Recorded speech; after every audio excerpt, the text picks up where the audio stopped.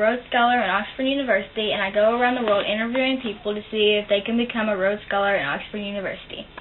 I'm 11 years old, and I graduated high school when I was five. I got my PhDs when I was six, like math, social studies, science, astronomy, arts, just about anything that you can think of. I was sent here by your parents to see if you were Rhodes Scholar material. Hi, my name is Lilly Baker. I am related to Allison Baker from Van Buren, Arkansas. I'm also related to Joey Baker in Nampa, Idaho. Intelligence runs in our family. I'm nine years old and I'm so smart that I don't even know what grade I'm supposed to be in. Well, that's really good. You don't mind if I test you, do you? How many Earth years does it take for Pluto to orbit the Sun? 248.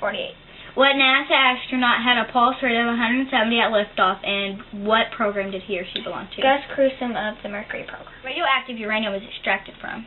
Pitchblende and carnotite. Astronomy, what is the Ursa Major and what's its nickname? Big Dipper, Great Bear, and one of the 88 known constellations.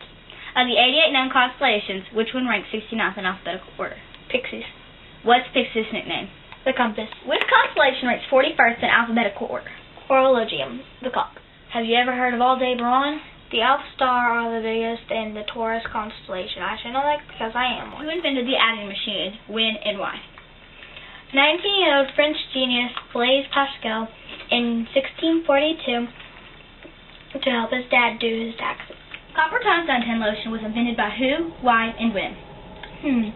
Dr. Bing to help protect the World War II pilots when they were forced to bail out over the Pacific Ocean his patent was granted in 1944. Who was Thomas Nast?